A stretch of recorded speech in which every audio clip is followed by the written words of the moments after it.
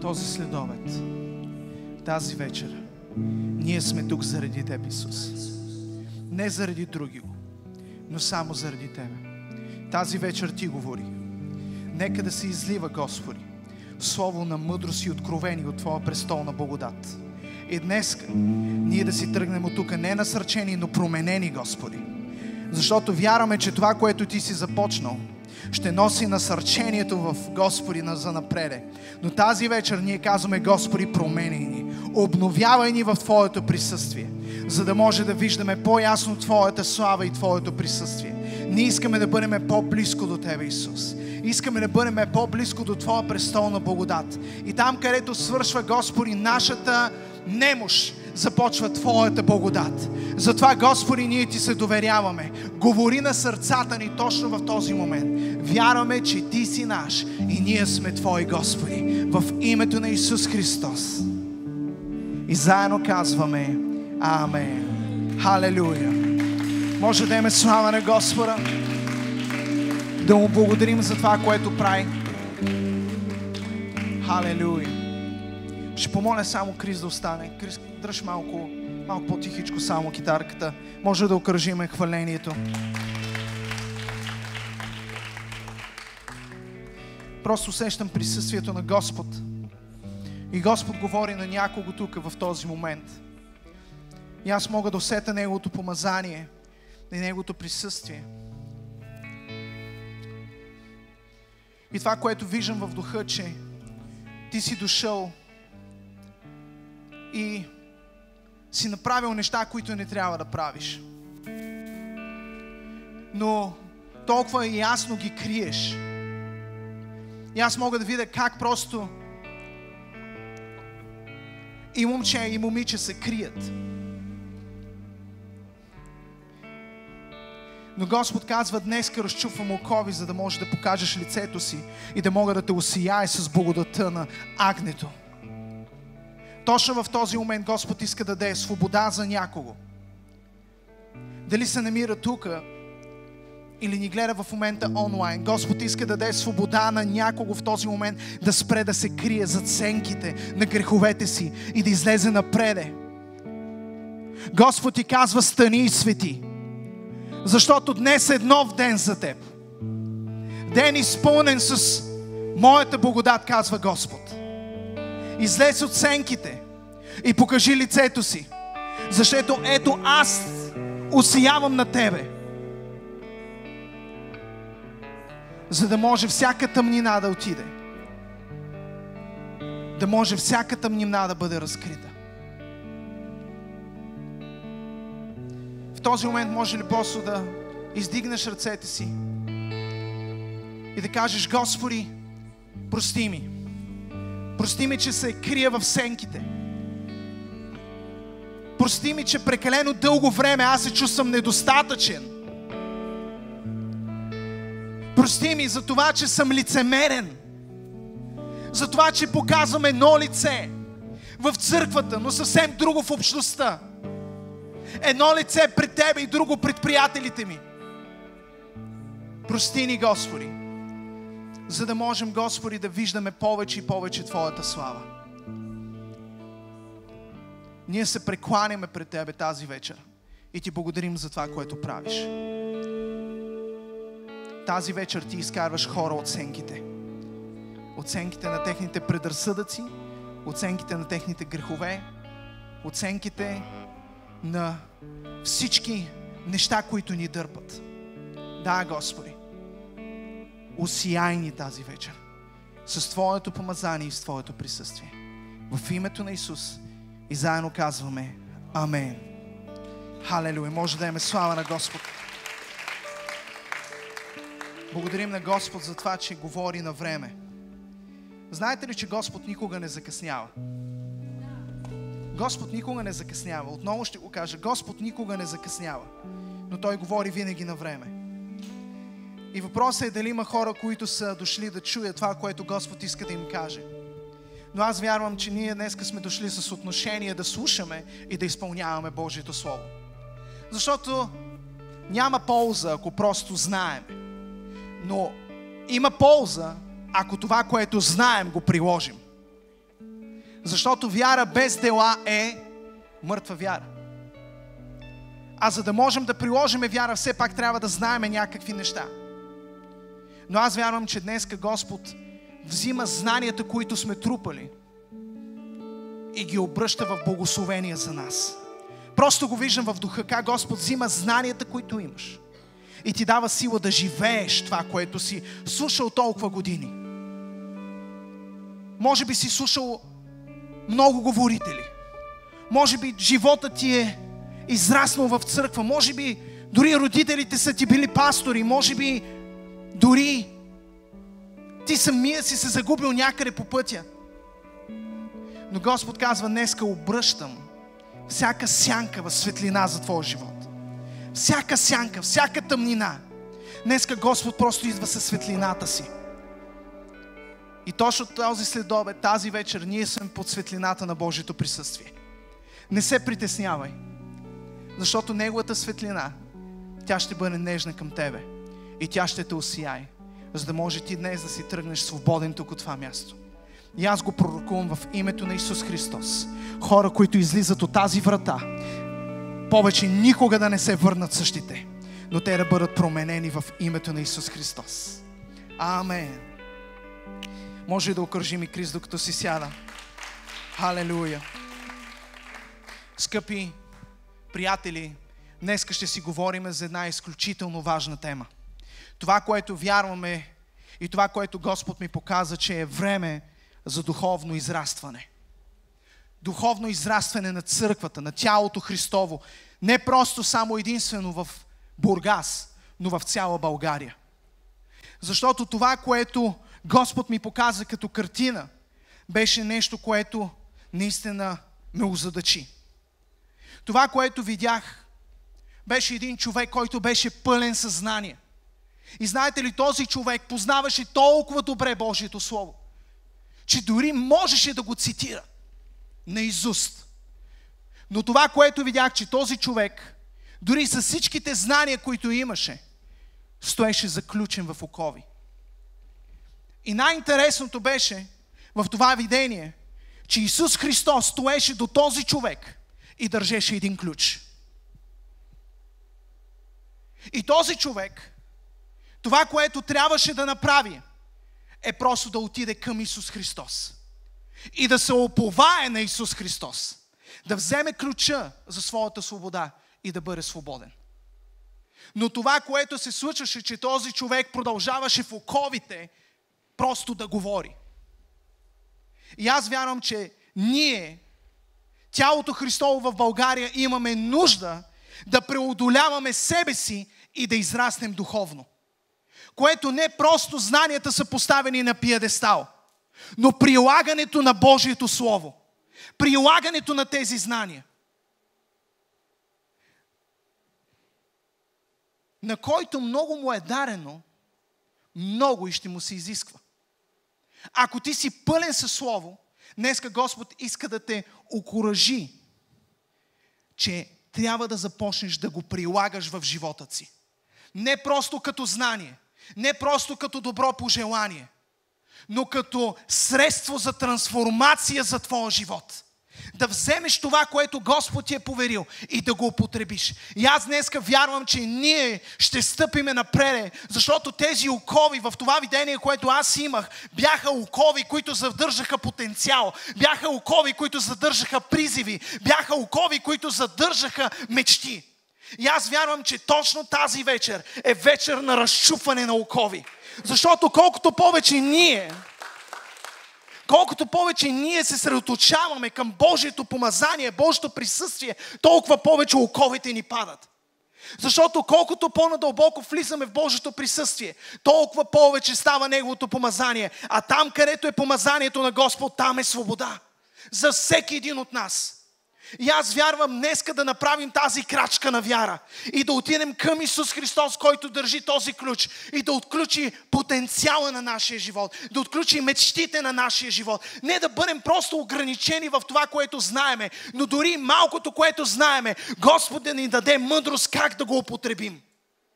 И аз вярвам за такъв духовен растеж, което наученото влиза в действие. Амин. Но това, за което искам да ви споделя, са три основни точки, без които няма как да се случи духовното израстване, от което ние имаме нужда. Може ли заедно да отидем в Псалми? 34 глава и ще ви чета от 1 до 8 стих. И докато от тук на това място ни отваряме, искам да приветствам всички, които ни гледате онлайн. Благодарим ви, че сте с нас.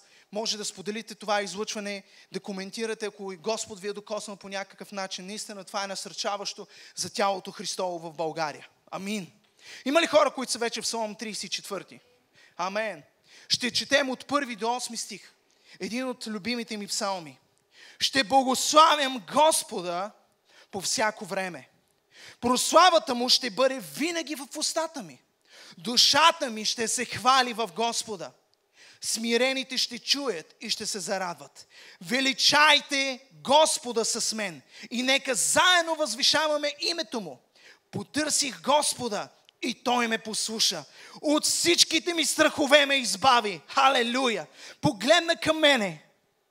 Погледнаха към Него и засияха и лицата им не се посрамиха. Този сиромах извика и Господ чу.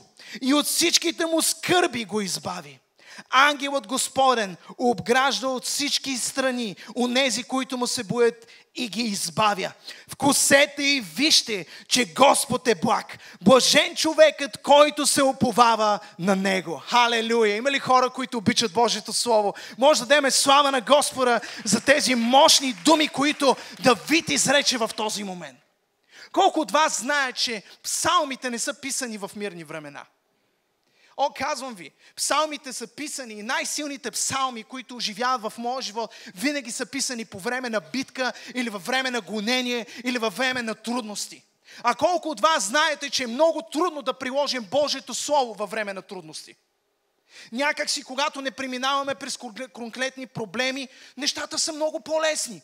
Просто живота продължава, ние се молим изповядваме Божието Слово, което знаеме и някакси се успокояваме по този начин. Но истината е, че искаме или не искаме, трудни моменти идват. И точно в тези трудни моменти се показва нашето духовно израстване. Не когато си лежиш на плажа и всичко ти е перфектно, и когато те повява морския бриз и благодариш на Господа за хубавото време – Ами когато дойдат изпитанията и трудностите в живота ни. Защото те са ни обещани.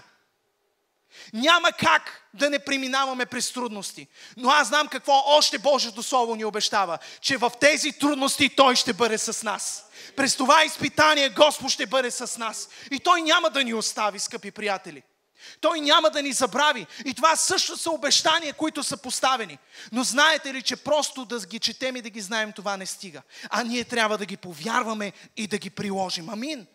Забележете, може да си запишете като първа точка нещо без което не може да има духовно израстване. Това е доверие към Божието Слово, доверие към нашия Бог в едни от най-трудните моменти. Вижте какво казва псалмистът да ви. Ще благославям Господа, когато си поискам.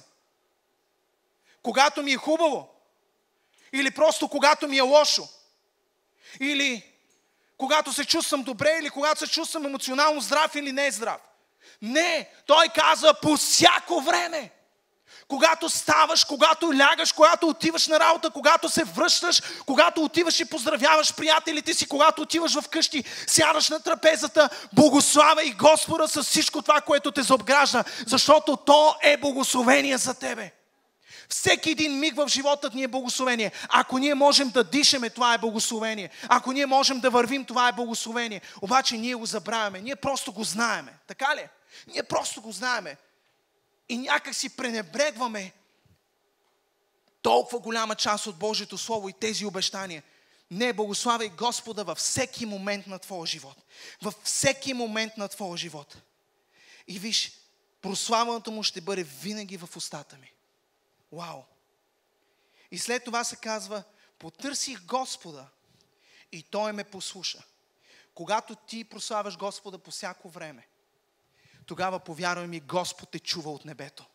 Защото Той взима твоето доверие и го обръща в мощно благословение в твоя живот. Той взима твоето доверие. Господ има нужда от хора, които знаят как да му се доверят за живота, които знаят как да му се доверят за семействата, които знаят как да му се доверят за финансите си, които знаят как да му се доверят за здравето си. Господ има нужда от твоето доверие, за да го вземе и да го обърне в благословение за тебе. И това е изключително фундаментално, защото после се казва, че Той ме чу и от всичките ми страхове ме избави. Има ли хора, които живеят в страхове? Доста често хората живееме в страхове, така ли? По един или по друг начин. А знаете ли, че дори и пасторите живеят някой път в страхове? Няма значение каква е твоята позиция, няма значение на какъв амвон си застанал и от каква, коя трибуна говориш Божието Слово. Страхове винаги ще има, които идват в нас. Но тук идва момента на нашето духовно израстване. Ние доверяваме ли се на Господа? Или просто стоиме и парализираме нашия потенциал и призива, който има Господ за нашия живот? Знаете ли колко хора не могат да се доверят на Господа за това да почнат да му служат, защото се притесняват? Те си казват, о, ма Господи, аз съм толкова грешен. Аз, когато успея да ти бъда верен и свят, тогава ще ти служа. И това са абсолютни манипулации и лъжи на, на дявола. Истината е, че светостта е процес. Светостта е процес. Той не е просто, светостта не е просто изговаряне на конкретно слово и хоп, нещата се получават. Не, не се получава по този начин. Всичко това е един дълъг процес на освещение, отделение от греха. И знаете ли кога наистина се случва това отделение? Когато ние започнем да се доверяваме на Господа и да му служим. С това, което мога. Да, може би нямам толкова големи таланти да пея. Няма значение, обаче имам две ръце и мога да помогна с столовете. Значи имам глава, мога да измисля нещо, мога да седна, да науча на някоя програма, да направя, да насърча хората, някаква картинка, нещо. Но истината е, че ние обсипваме себе си само и единствено със съмнение и страхове. Но Господ днес иска да разчупи тези стихове и да призове хора, които да му служат. В името на Исус аз изговарям разчупване на всеки един страх, гняв, на всяка една недостатъчност в името на Исус. Господ ни избави от всеки един страх. Вкусейте и вижте, че Господ е благ. Божен човекът, който се оповава или още една дума. Доверява на Него. Защо го хвалим? Защо в момента ние се намираме в църква и го хвалим? Защото Словото казва, че Той ни чу. Аз съм тук, защото Господ чу моя вик. И Той ме спаси. И това имам нужда, за да дойда в неделя и да го прославя. Само толкова ли? Само толкова. Защото това е всичко, от което имаме нужда.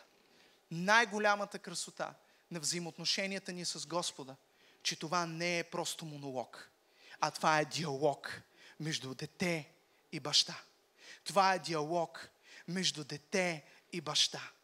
И Господ иска да си разговаря с тебе. Господ копнее да чуе гласа ти сутринта, Господ копнее да чуе гласа ти след обед, Господ копнее да чуе гласа ти вечерта. Обаче ако толкова много се отрупваш с работа, която да те а, а, ангажира и да нямаш никакво време. Мислите ли си, че това нещо от Господа? Всяко нещо, което ни разделя от Господа е грях. Всяко нещо, което ни тласка настрани, това е нещо, което не трябва да бъде. И повярвайте ми, дали е работа, дали са взаимоотношения с хора, ако има нещо, което ме отделя от Господа, по-добре го разкарайте и се махнете от това нещо. Знам, че звучи много радикално, защото ще има хора, които ще им се наложи да си остават работата, за да могат да се доверят на Бог.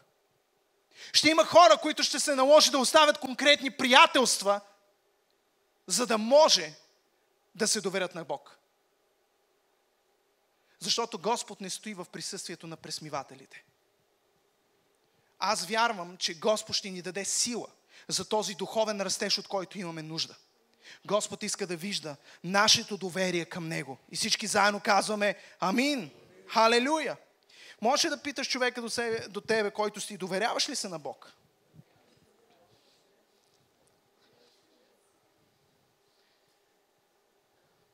както казахме, страха е един от основните врагове на доверието ни към Господа. И искам да ви прочита още едно слово. Във 2 Тимотей, 1 глава, 7 стих.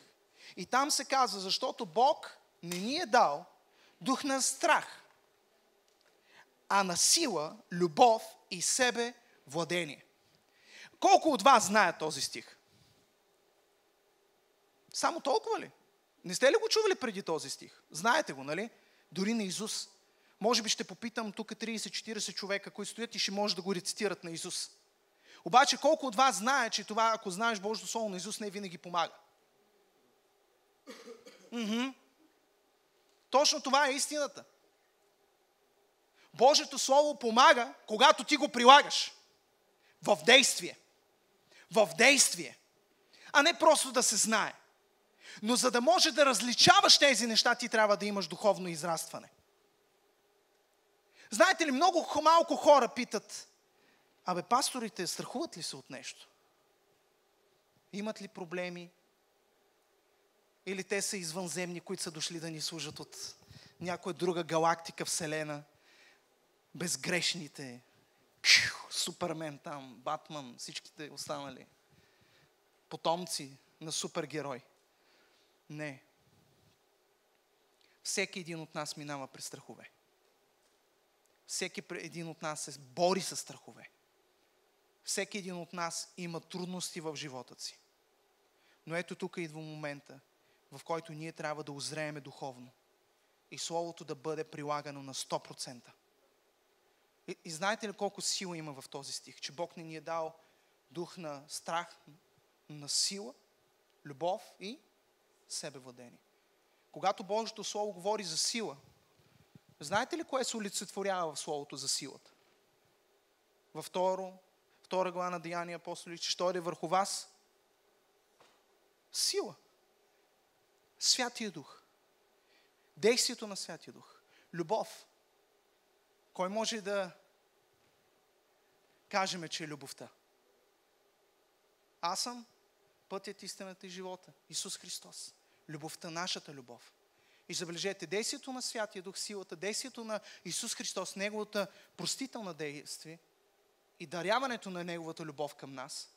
И след това идва най-гадната част. Ще си признаеме ли? Ама най-гадната. И това е нашата част. Себе владение, скъпи приятели. Себе владение. И знаете ли, че това е един от ключовете, в който ние да имаме доверие към Господа.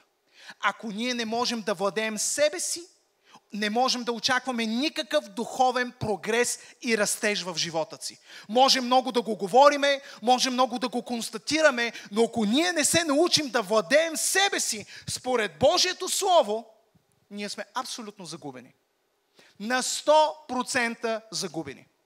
Ако щеш да ми цитираш до утре Божието Слово, ако няма себе владение в тебе, просто ти губиш силата и забравяш за Неговата любов.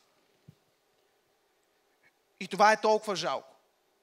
Защото много често, поради липса на себе владение, ние даваме прекалено висок авторитет на дявола.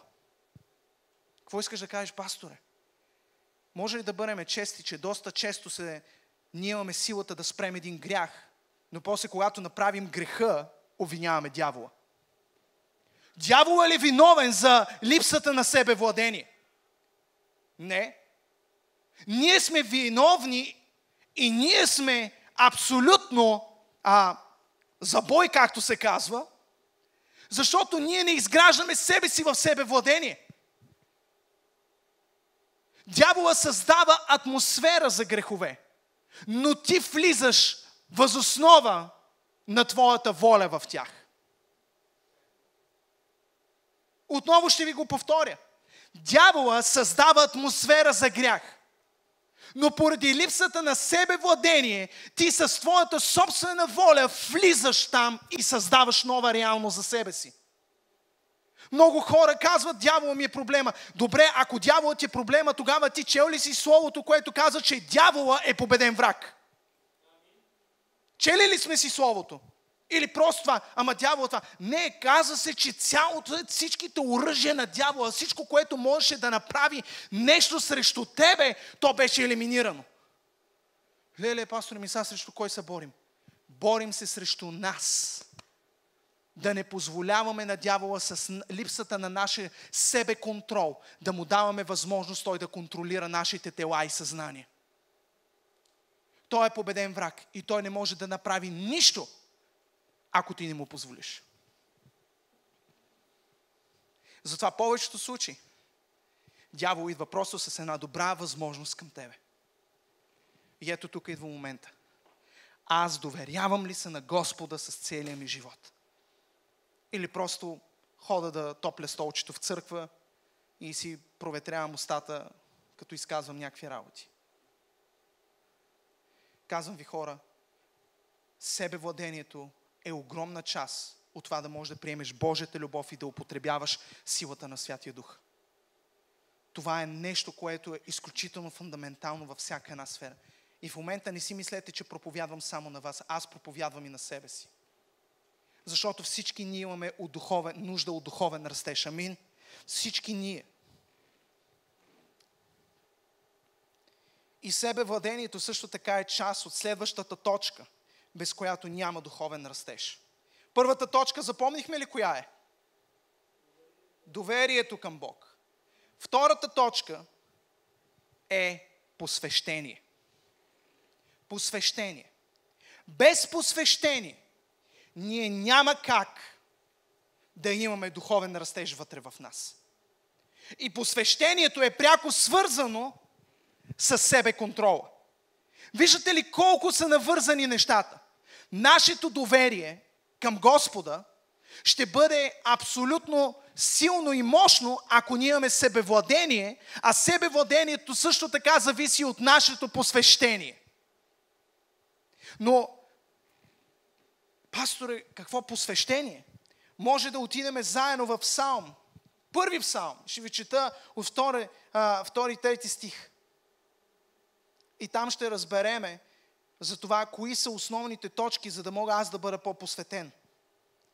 А насладата му е в закона на Господа. И върху неговия закон размишлява ден и нощ.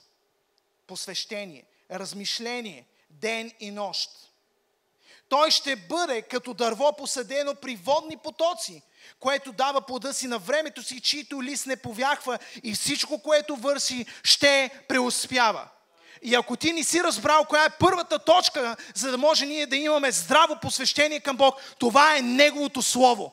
Когато стоим вкоренени в Неговото Слово, тогава ние се вкореняваме в тези потоци, които дават абсолютно сила за нашето тяло. И тогава листата ни няма да са повяхнали, тогава няма да си говорим за депресии, тогава няма да си говорим за емоционална нестабилност, тогава няма да си говорим за кеф и не ми е кеф, тогава ще си говорим за реалните неща. Амин. Защото ако ти си засаден, там, където извира и действа Святия Дух, тогава ти не можеш да позволяваш на твоята емоционалност да взима решенията вместо тебе. Не можеш да позволяваш да бъдеш контролиран от обстоятелства, защото дърво, което е засадено, то не мърда. А то стои вкоренено в Божиите обещания и в това, което Господ има за него.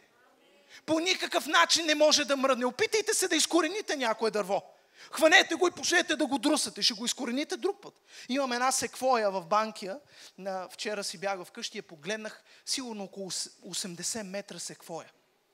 Знаете ли това нещо колко огромно? И знаете ли кое е интересно при секвоите, че колкото са високи нагоре, толкова са, а, са пуснали корените си надолу. 80 метра нагоре и 80 метра надолу. Айде отидете да изкорените тези корени. Отидете. Ама вземете, ако искате, и резачки и разрежете дървото. Но корените не може да ги изкарате. Защото те са влезнали толкова надълбоко, че без значение какво се случва отгоре, това дърво ще продължава да живее. И ако си мислите дявола какво се опитва, той се опитва да стигне до вашите корени. Като пуска отрови. Но ето тук Господ говори, влез в моето слово. Ма пасторе, това пак ли го повтаряме в църква? Пак ще го повтаряме в църква. И пак ще го повтаряме в църква. Защо? Защото трябва да виждаме зрели християни, които говорят за това нещо, които живеят това нещо. Посвещение в четене на Божието Слово. И тогава ние ще бъдем като дърво вкоренено при потоци води. И нашия лист няма да увехне. Вау! Искам да виждам повече радостни християни. Искам да виждам християни с усмивка. Искам да виждам служители на Господа, които влизат от тази врата с ей такава усмивка и желание да му служат. Ма знаете ли кога се случва това? Когато си оставите емоциите в къщи, когато сте поляли дървото си с правилното слово предварително, с правилното помазание предварително и дойдете и започнете да давате от себе си. Един празен съд няма какво да даде. А ние идваме на църква просто консуматорски. Не, хората имат нужда да срещнат Исус Христос, те имат нужда да срещнат Бог. И знаете ли как срещат Бог и Исус Христос? Чрез нас. Обаче ние ако се въртим в един омагиосен кръг цял живот и сме заключени и просто знаем, еми да, знам това, аз знам онова, няма как да влезем в потенциала и в призванието, което Господ има за нас.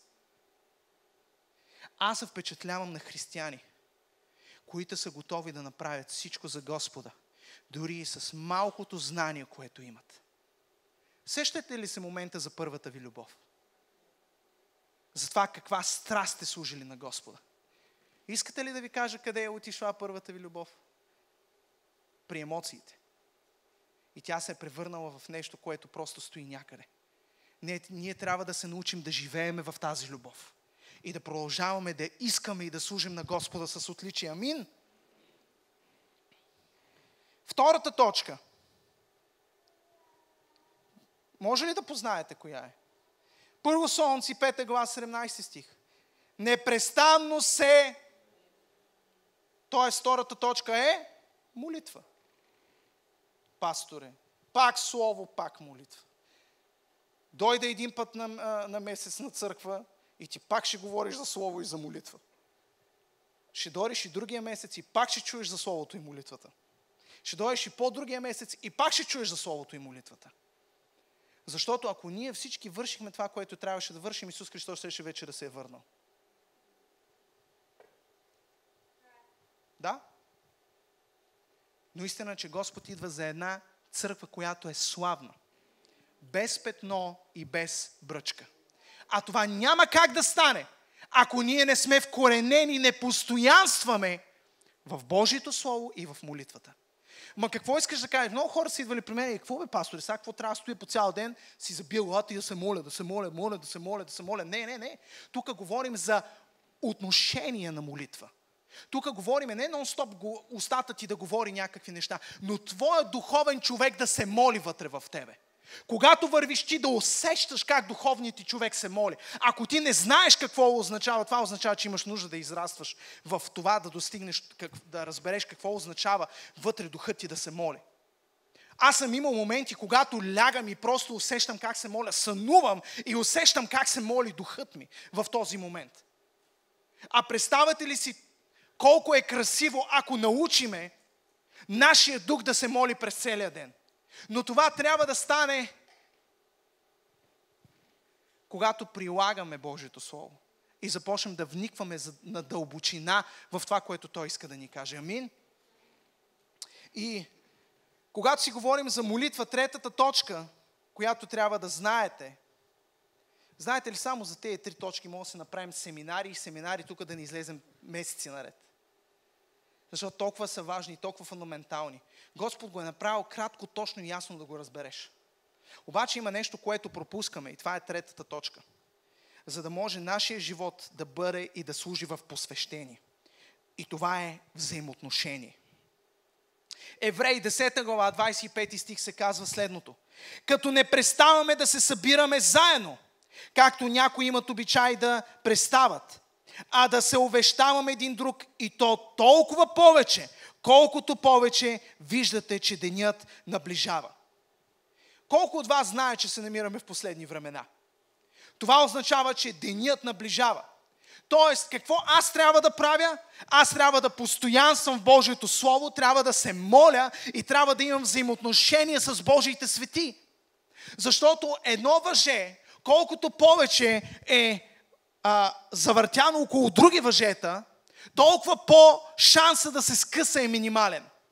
И затова ние, когато прекарваме време един с друг, когато прекарваме време а, в разискване на Божието Слово, но и когато прекарваме време и в забавление, когато прекараме време а, а, и споделяме времето си един с друг, тогава Господ прави нещо уникално. Той ни сплита един в друг и тогава ние ставаме едно невъзможно закъсане въже. И аз вярвам, че днеска Господ ще ни даде сила да извършиме това посвещение. И искам да ви насърча всички, които се затваряте вкъщи, чакате да свърши в неделята и просто си отивате вкъщи, затваряте си, гледате си сериалите, гледате нещо. Искам да ви насърча. И тези, които ни гледат, стоите си зад компютъра, всичко супер, нали? Обаче трябва да се събираме заедно. Защото ако няма посвещение, няма как да има духовен растеж. Няма ли духовен растеж? Директно тръгваме надолу. Става духовен деградеж. Ама пълен. Ако ти не растеш нагоре, тогава ти растеш надолу. Семпо. Няма момент на застояване. Застояването е момент на падение. Ти трябва да буташ напред и да израстваш духовно. Да предизвикваш себе си във всеки един момент.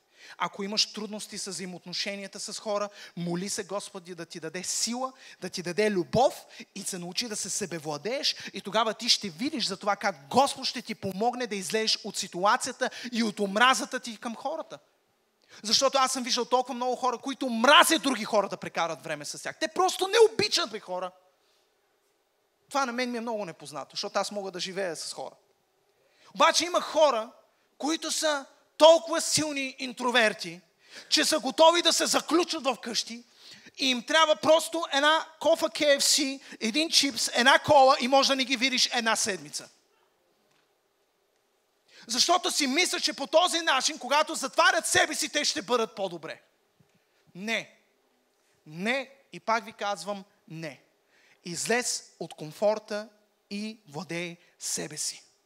Излез от комфорта и владей себе си. Предизвикай себе си.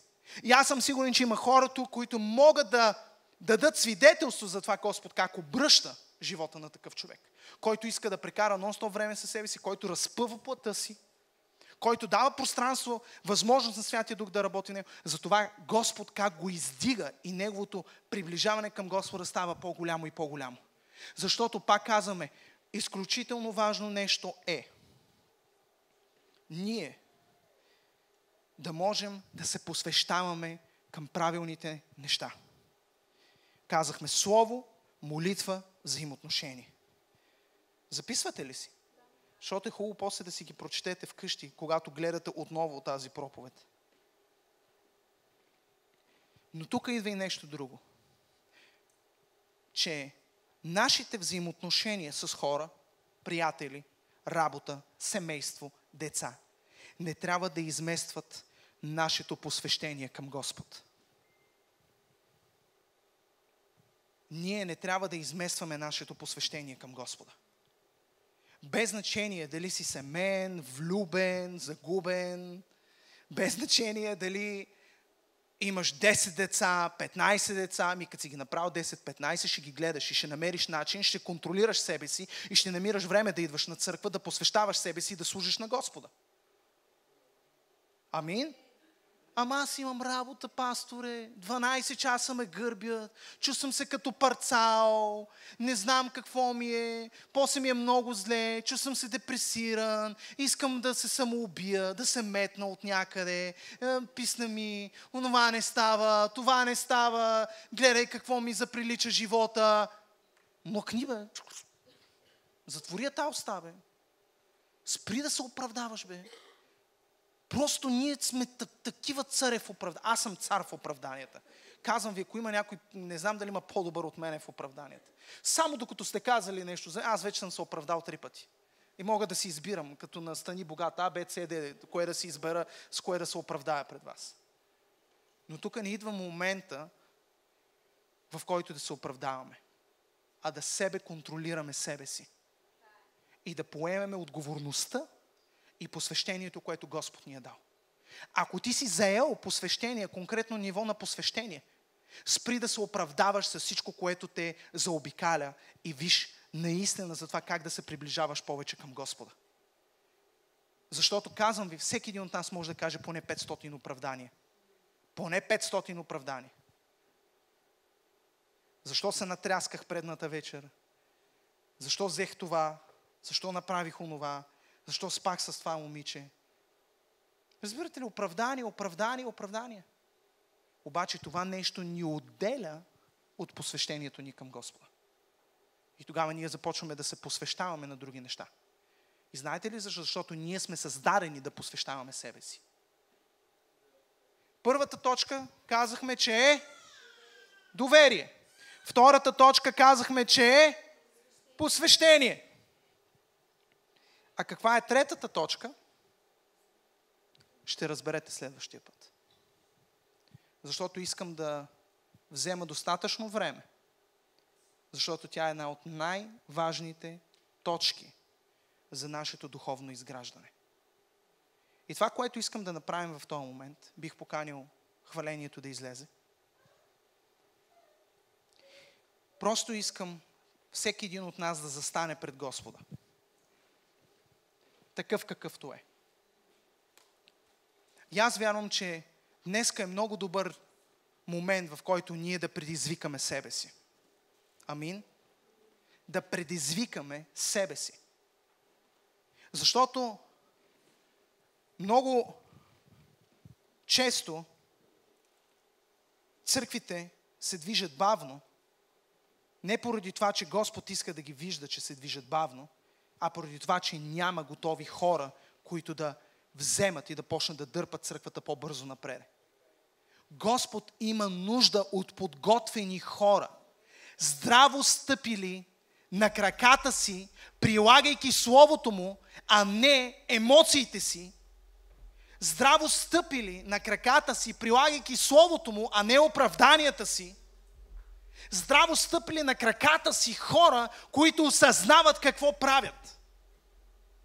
Мисля, че е време, в което аз и ти да се съвземем и да дърпаме църквата напред и да виждаме Господ какво има да направи чрез нас, кажи чрез мен. Защото Господ иска да направи големи неща чрез всеки един от нас. Но знаете ли, последната точка няма как да стигне до, до, до нея. И затова ви даваме една седмица, в която ние да стартираме, да започнем да се доверяваме повече на Господа и да започнем да се посвещаваме на Господа. За да може, когато дойде тази трета точка, о, казвам ви, ще бъде много интересно ние да сме готови за нея. Защото тя е изключително важна. Скъпи приятели, аз вярвам, че тук на това място има толкова много вярващи хора, които им е писнало да бъдат в тинята и да стоят и да се въргалят в нея.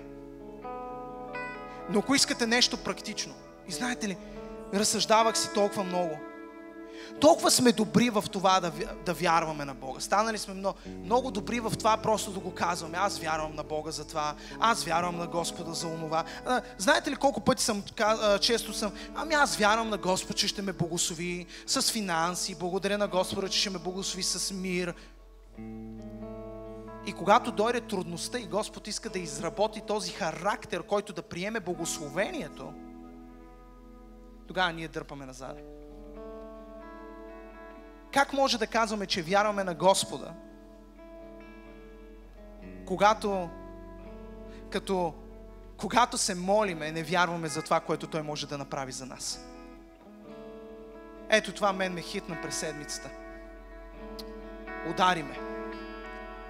Как мога аз да кажа, че вярвам в Бога, когато, а когато имам нужди, аз не мога да повярвам за тях на моя Бог?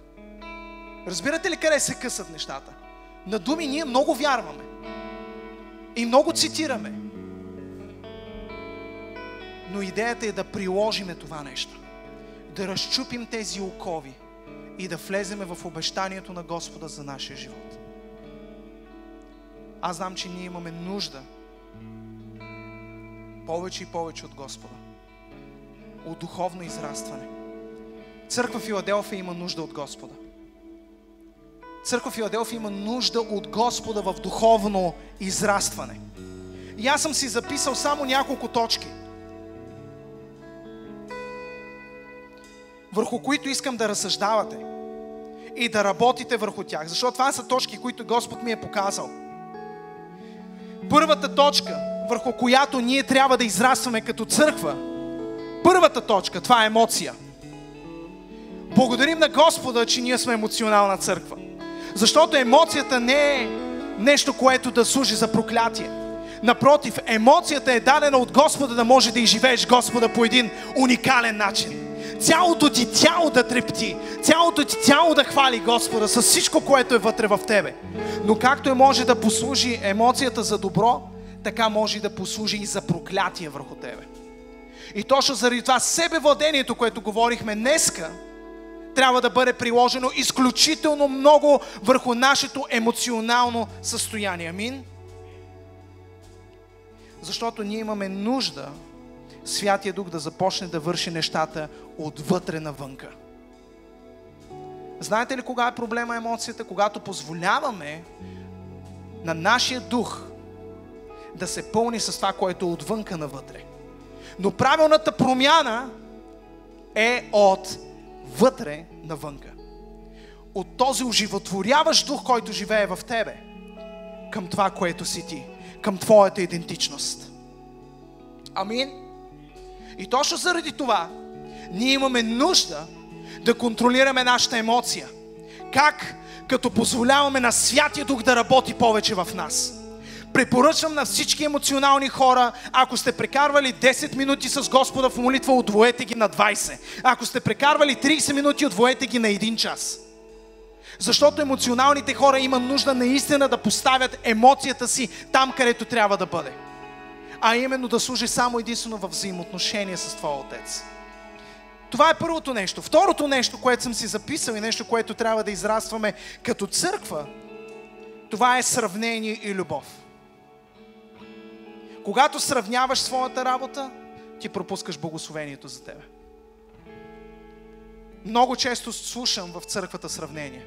Ма пасторе, он е пренесъл 3 стола, аз съм пренесъл 10 стола. Ма пасторе, то хвалител изпя 3 песни, аз изпях 5 песни. Ама пасторе, единия това прави, ма другия това не го прави. Това нещо трябва да спре. Аз съм директен, обичам ви, поставен съм като пастор на тази църква и пастора трябва да има смелостта да каже, че църквата му не е перфектна. И аз го казвам в момента, пред няколко хиляди човека. Църква Филаделфия не е перфектна, но тя знае как да обича Господа. Спри да гледаш на това, което някой прави или как го прави. Служи с твоето отличие на Господа, а Господ няма да те подмине. Господ няма да подмине твоето сърце. Той няма да подмине това, което правиш за Него. И повярвайте ми, състезавайте се да служите на Господа. Едно време благодаря толкова много на пастор Иван Хазарбасанов. Аз израснах в църквата там. Че беше създал буквално атмосфера на състезание хора. Някои хора казват, как така ще се състезават? Атмосферата в църквата беше такава, че ние горяхме да служим на Господа. Аз говоря за себе си казвам ви, бях готов да се сбия с някой, не за това, че он е пренесъл три стола, аз съм пренесъл два стола, а бях готов да се сбия, за да мога да намеря място, къде да служа на Господа. Защото сърцето ми изгаря за Него. Защото искам да виждам повече от Него в моя живот. Такова сърце Господ не подминава. То прибавя още и още и още и още от себе си. А това, че някой се скатава, сори, това си е за него. Обаче, аз, моето сърце, то ще служи с отличие на Господа. Амин. Приемаме ли? Знам, че някой път е неприятно, но това са важни неща. За нашата църква. Емоция, да няма сравнение, да имаме повече любов и разбирателство един към друг. Амин. И също така, третото нещо, което може да си запишете. Носене на отговорност. Когато сме поели отговорност, да извършим до самия край. Записал съм си го. Третата точка. Носене на отговорност. Можем ли да бъдем смели в това да поемем отговорност? Амин. И да бъдем смели да довършваме отговорността, която сме поели. Не да бягаме, не да се криеме. Господ иска да те срещне. И аз вярвам, че служението, което имаме към Него и пред Него, е наистина чудесен начин Господ да ни срещне. Когато служим на Господа, искам да ви кажа, че много от греховете ни падат. Това беше начина по който Господ ме освободи. Това беше начинът, от който Господ ме освободи от порнография, Господ ме освободи от а, лъжлив език, Господ ме освободи от а, а, това да псувам, защото искам да ви кажа, че като малък бях абсолютен кръчмар. И устата ми беше необоздана. Всеки втори го лъжех. Но когато започнах да служа на Господа, моите грехове започнаха да опадат едно по едно. Защото това е моят процес на освещение към Него. Така че църква Филаделфия, ако искате да приборвате повече себе си, посвещавайте се по-надълбоко в Него. Служете Му по-дълбоко и с отличие. И тогава ще видите как неща започват да падат. Лесно ли е? Не. Изисква доверие, изисква посвещение. Но вярвам, че това е нещо, което Господ има за църква Филаделфия и за тялото Христово в България.